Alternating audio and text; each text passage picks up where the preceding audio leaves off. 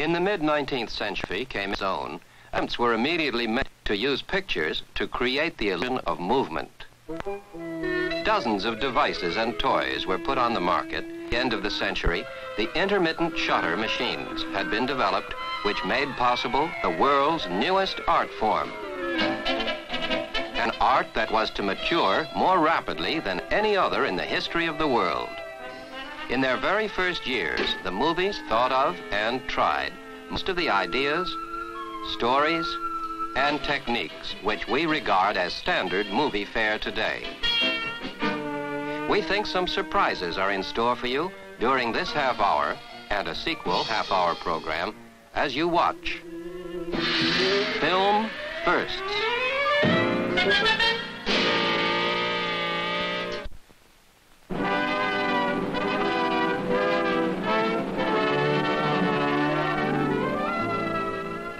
History of the motion picture. A series in which we follow the growth of a new art. Its earliest beginnings. The first concept of projection. The development of story and spectacle. And the great stars all a part of the history of the motion picture.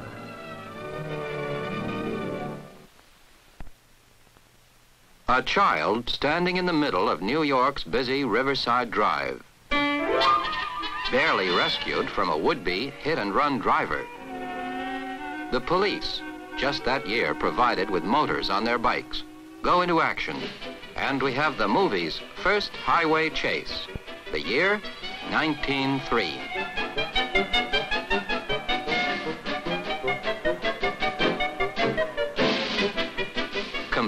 View of Riverside Drive with the bumper-to-bumper, apartment-to-apartment Riverside Drive of today.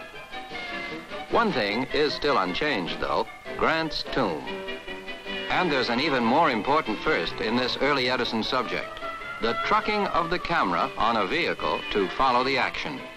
Film historians have often made the false assumption that trucking shots were first tried by Griffith half a dozen years later and perfected by the Germans in the 20s. This was Edison, 1903.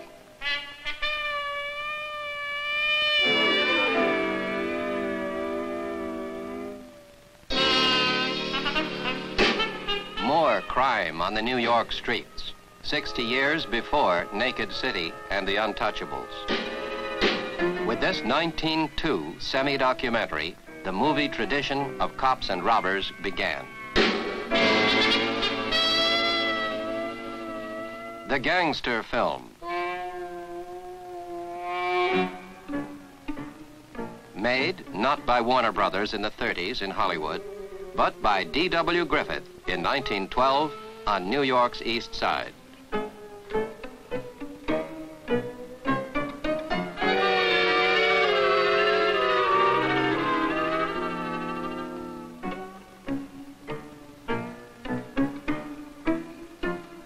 Movies subsequently moved to California. But it's ironic that later still, in the 1950s and 60s, the new wave of movie making was to take many productions back to New York for the realism of the city streets.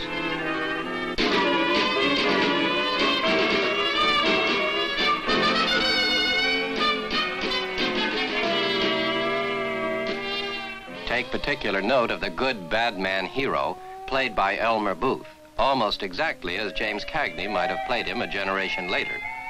Especially in this scene where he goes to claim his girl, or the girl he thought was his. Played by Lillian Gish.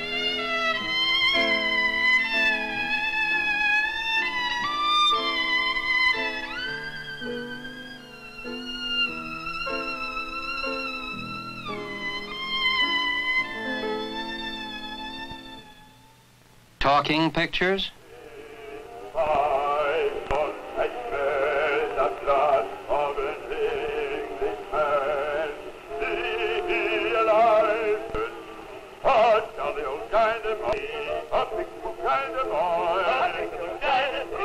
This early film was 100% all talking, all singing, all dancing. And it wasn't one of the musicals that followed The Jazz Singer after 1927. It was made by Edison in 1913. I am the queen of the fairies, and I'm going to cast a spell over the giants. A spell of joy and entertainment. The great inventor had first experimented with tying in sound with movies back in 1900. For this group of sound films that he made in 1913 and 14, he had recording and vaudeville artists record the track on a revolving waxed cylinder, much like the later dictaphone cylinders. The big problem was that it was up to the projectionists in each theater to constantly slow down and speed up the picture and the track cylinder to keep the sound in synchronization. So these talkies were not practical for continued distribution.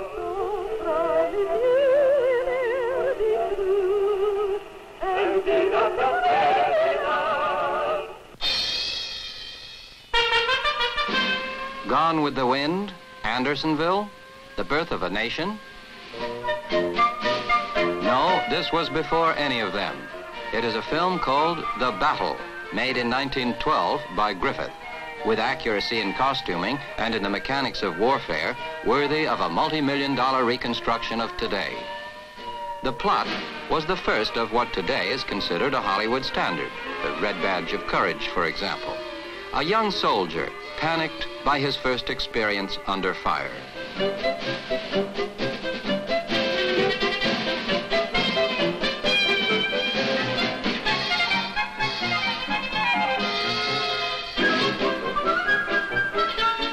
Later, inspired by the great bravery of those around him, he regains his courage, sizes up the desperate battle situation of the Union forces, and races to headquarters with a warning that ammunition reserves must be sent up.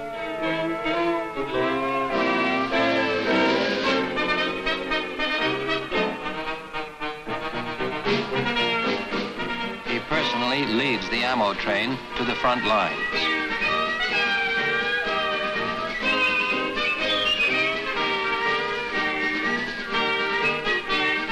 And the Union cause is saved.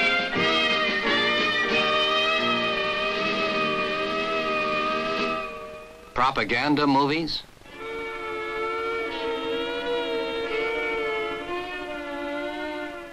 This film, The Nihilists, was made shortly after the unsuccessful Russian Revolution of 1905. It purports to show the tyranny of the Tsarist regime, but it could just as easily have applied in 1917 to show the bestiality of the then successful Bolshevik rebels toward the Russian aristocrats. Either way, from the standpoint of film history, the point is that the message is brought home in terms of brutality, a technique that was to be followed in hundreds of later propaganda and atrocity films.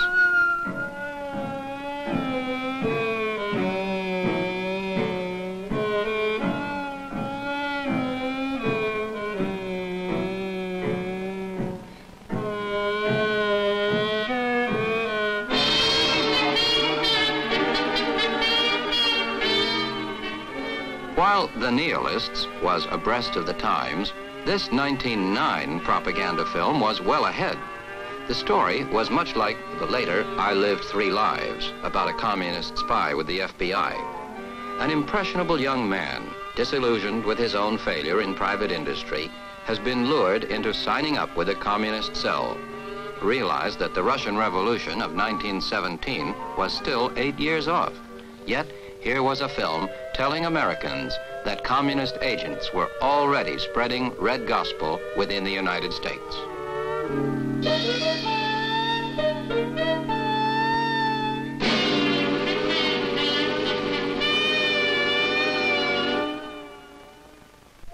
Domestic comedy? Yes, the year is 1904, and the movies are already kidding suburbia. This is the family of a city dweller just making the move to the suburbs.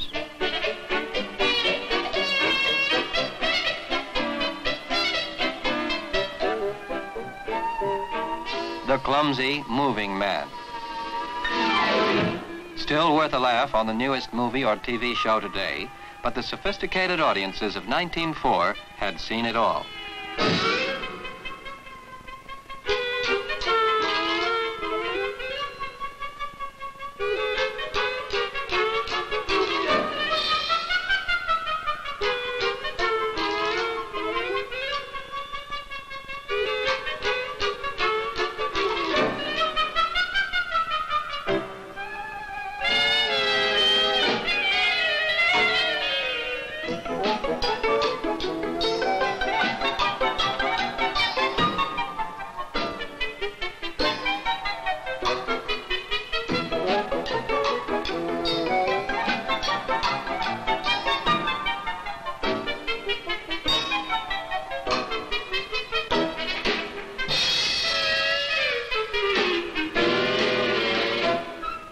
Same film anticipated other themes of today's situation comedies. Kitchen help, for example. Hard to get, spoiled, and naturally not inclined to brook interference by mother-in-law.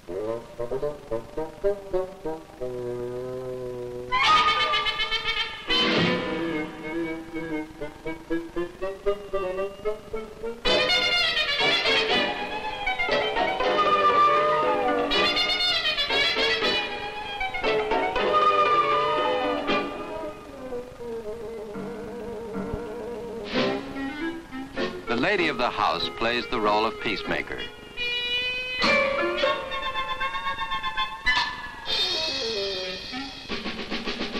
Finally, father is ushered in to negotiate.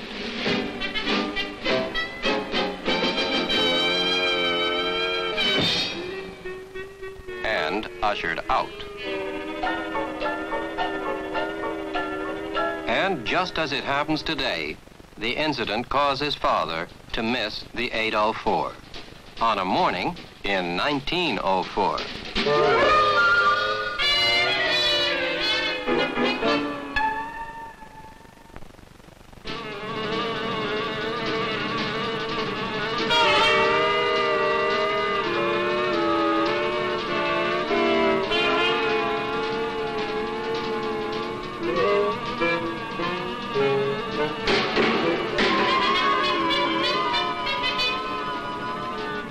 Doubtless you recognize the most famous of all early movies, 1903's The Great Train Robbery, often hailed as the first film with a story, which it really wasn't. There had been several others.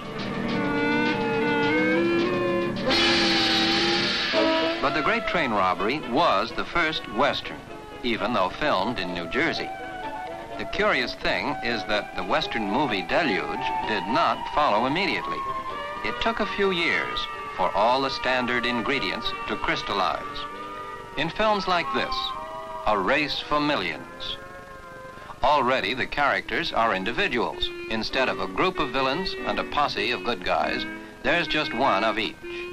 Here, the crooked claim jumper bribes the Wells Fargo agents to let him take the express and file the claim ahead of the heroine.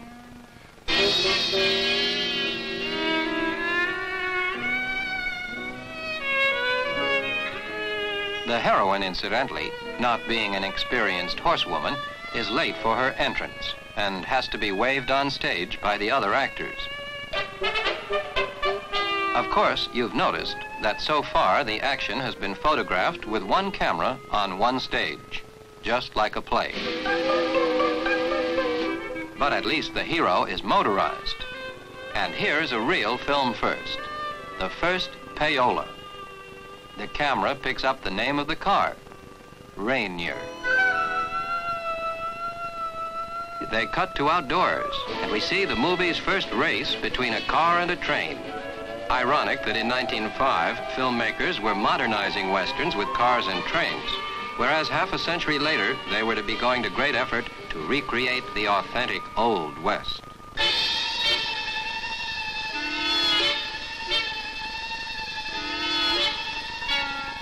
Of course, the hero and heroine win the race to file the claim, making the villain so angry that he gets drunk and sets the scene for another movie first, a challenge fight. The gun duel for which Main Street is cleared of bystanders. You're about to see the fastest guns of the movies in 1905, half a century before High Noon.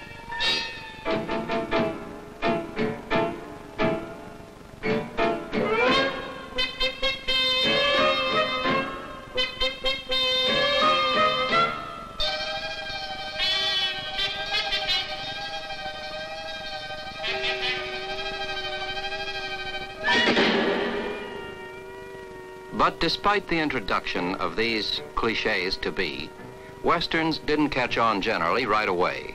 Something was still missing from the recipe. One man thought he knew what it was. His name? G.M. Anderson. And almost 50 years later, he came to our studios and reviewed with us the birth of Westerns. He said it had all started when he had been in New York doing odd jobs and by chance was engaged by Edwin S. Porter to appear in the Great Train Robbery. And we went to the livery stable first to pick up the horses. And as I started to mount the horse, some flunky in the back says, hey, boy, I wouldn't mount the horse from that side. I said, what's the difference? He says, you mount him from that side, you'll find out. You know, they, they mount a horse from a certain side. Well, I did. I mounted on the right side. And then I galloped away. The other horses galloped on, and I kept my horse in the gallop. And he kept bouncing and bouncing and bouncing. And pretty soon, he bounced too much, and I bounced off. So then I became a train robber on foot. And I played about four or five parts in that. I was a fellow that run away from the from the passenger train after the robbers got them all lined up and got killed. And then I was a tenderfoot in the uh, room where they were having a dance, and all the uh, roughnecks made me dance. And that's the my beginning in the picture business. And I thought then that that's what they're going to eventually want, pictures of action. And then finally, that's what they, what led me on to make the westerns a little later on. G.M. Anderson did continue making westerns, but something was still missing. And one day, he realized what it was. Because I found out the solution why that the westerns I made didn't go. They wanted a character that they could heroize and that they could glamorize and love. And that's what they're doing today. They have a central character today like Jim Arness, Gunsmoke, and uh, Maverick, uh, Have Gun Will Travel. It's a central figure. And now that is the beginning of the Westerns. Yes, the beginning of Westerns was the creation of the cowboy star. And Anderson became the first. As if by instinct, he hit on the traits that the public would love. For all his strength and courage, the cowboy must be a bit bashful with the ladies.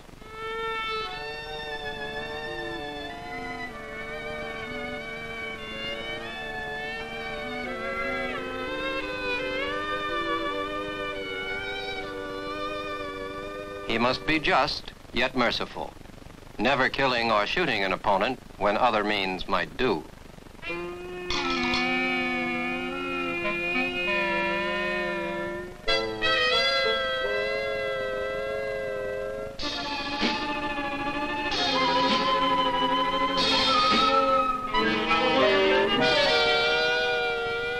He must be fearless and resourceful.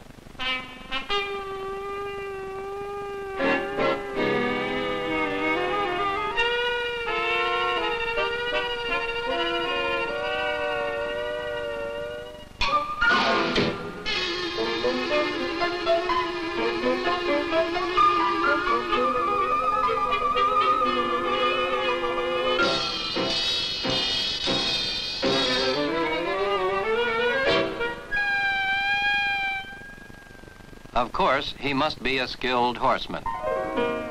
As he himself pointed out, this was a skill that did not come naturally to Anderson. And he must have a horsey nickname.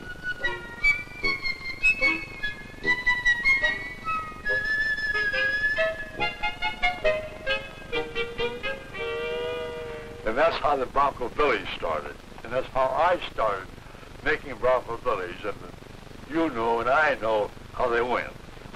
They pyramided, everyone went better. Bronco Billy was the screen's first cowboy personality, but the first face to actually go before a movie camera had been that of Fred Ott, not an actor but an assistant in Mr. Edison's laboratory in the 1890s. The first professional movie actor was Lehman, billed as the man of a thousand faces, a generation before Lon Chaney. The first female movie personality was not a female at all, but a female impersonator, Gilbert Saroni.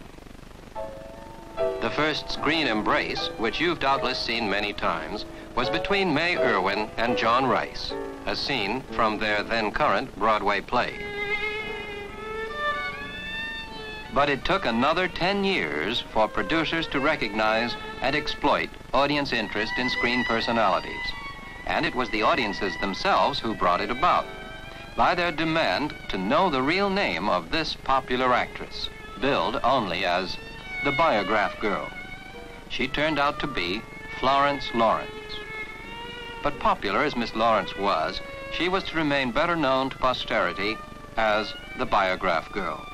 And the actress who, about 1910, was to establish the star system as we still know it today, was, of course, Mary Pickford, the first personality to become a commodity bigger than her own studio, a phenomenon that has plagued the movie industry ever since.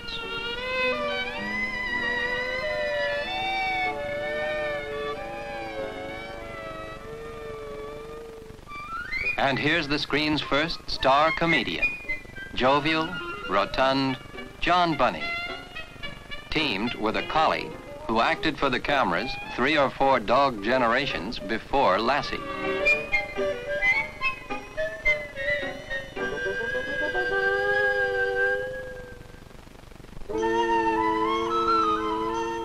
This is the movie's first Cleopatra, starring Helen Gardner. Miss Gardner established several film precedents. Not only was she the first star to produce her own pictures, but she was the very first movie vamp preceding Theda Bara by a couple of years. And she was one of the first to recognize that the public was ready for features longer than one or two reels.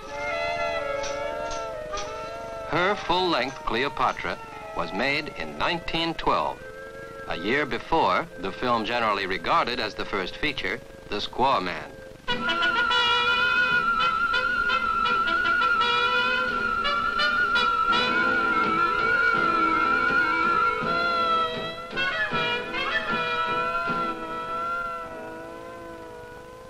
This is the sequence where Antony is called back to Rome and Cleopatra is reluctant to let him go. Crude as it may seem today, the picture caused almost as much excitement as Elizabeth Taylor's version exactly half a century later.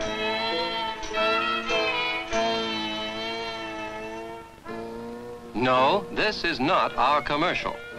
This commercial is 65 years old. No sooner had the movies gotten underway in the 90s than manufacturers saw the possibilities of commercials and introduced the technique of sugarcoating the hard sell with an entertaining film sequence. Or by tying their commercial in with a public event, such as a bicycle race. Now for a much more up-to-date commercial, and then another quite amazing film first. We'll see more film firsts in a sequel half hour. But the last first on this program is the most topical of all. Made in 1902 by the ingenious pioneer Georges Méliès, these are the ceremonies of loading and launching of a rocket to the moon. A project which in Méliès' day represented the furthest reaches of the most vivid imagination, but which of course today is very real. Méliès was a showman too, and noticed that he anticipated the Warner Brothers musical choruses of the 30s with a squad of shapely maidens to help launch the rocket.